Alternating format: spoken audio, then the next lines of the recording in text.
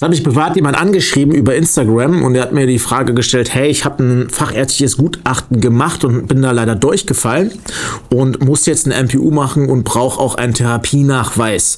Und das ist etwas, was leider mir schon in den letzten Jahren immer wieder auffällt. Leute, geht nicht ohne Plan, ohne vorher mit irgendeinem Berater mal anständig gesprochen zu haben, zu einer fachärztlichen Untersuchung oder auch zur MPU.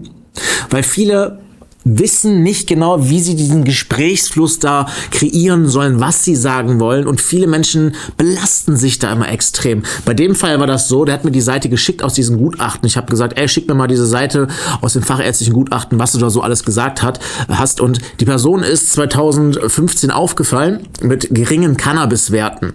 Und die Führerscheinstelle hat das dann festgestellt und wollte einfach wissen, okay, warst du jetzt ein einmaliger Konsument, ein gelegentlicher oder ein regelmäßiger Konsument?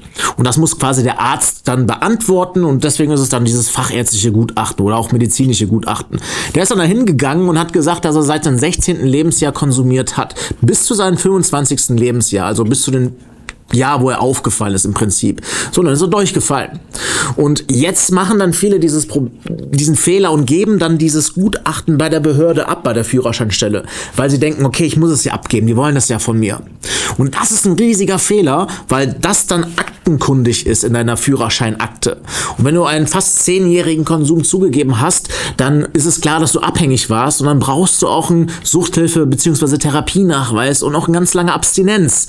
Und das wissen viele gar nicht. Hätte die Person das Gutachten jetzt nicht abgegeben, dann wäre sowieso der Führerschein eingezogen, es wäre sowieso die MPU dann angeordnet werden oder worden. Und dann ist das so, wie es ist. Das heißt, ob du dieses Gutachten jetzt abgibst und es ist negativ, dann bekommst du die MPU-Anordnung. Gibst du das Gutachten aber nicht ab, würdest du auch die MPU-Anordnung geben. Nur bei der MPU, dann würden die nicht genau wissen, was du alles gesagt hast. Und dann ist, ist es einfacher, die Untersuchung zu bestehen, auch mit einer verkürzten Abstinenz etc. pp. Auch bei MPU-Gutachten, da habe ich schon Sachen gelesen. Da ist beispielsweise jemand mit Cannabis aufgefallen, dann gesteht er noch ein über einer langjährigen Zeit Konsum, äh, Kokainkonsum gemacht zu haben, also regelmäßigen Konsum anderer Substanzen. Und die Leute geben diese Gutachten dann ab.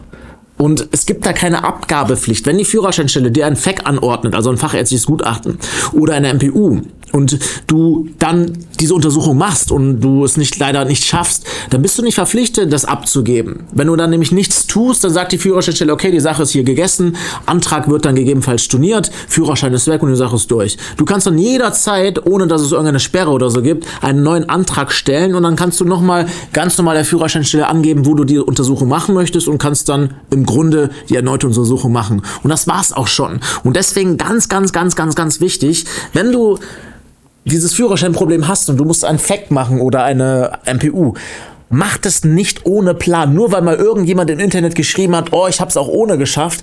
Ein anderer hat auch ohne dich irgendwas anderes geschafft, was du nicht geschafft hast. Du kannst davon nicht ableiten.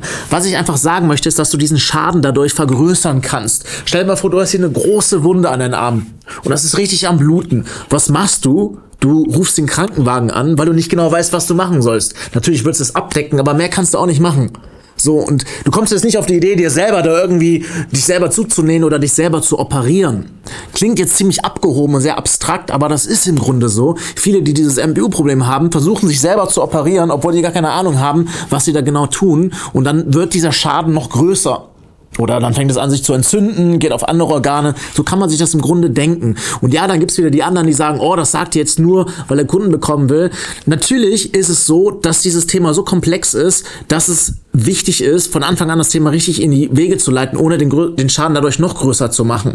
Und deswegen ist es einfach nur ein streng geheimer Tipp für mich an dich, dass du dich einmal richtig informierst, bevor du angehst oder dieses große Problem angehst mit einem richtigen Leitfaden. Deswegen biete ich dir auch an dieser Stelle einfach mal an, dass du dich bei mir für ein kostenloses MPU-Beratungsgespräch über eine Videotelefonie eintragst. Das ist super einfach gelöst. Unter diesem Video ist eine Videobeschreibung. Da ist ein Link, der führt dann zu dieser Website und da kannst du dich direkt eintragen zu einem kostenlosen Beratungsgespräch. Danach rufe ich am Telefon zurück und dann vereinbaren wir auch einen direkten Termin zu diesem Videogespräch und dann erkläre ich dir dieses Thema einmal besser und ausführlicher. Ich werde auch fragen, wer du bist, was bei dir passiert ist. Ich werde dir auch ein paar Fragen stellen, die dir die Gutachter später stellen bei der MPU. Kann dann auch sehen, ob deine Antworten passen oder ob das einfach nicht reflektiert genug ist. Und auch noch zeige ich dir, wie wir deine Abstinenzzeiten verkürzen können, sodass du keine zwölf Monate Abstinenz nachweisen musst. Deswegen trag dich ein. Ich freue mich auf dich. Bis dahin alles Gute. Dein Dustin.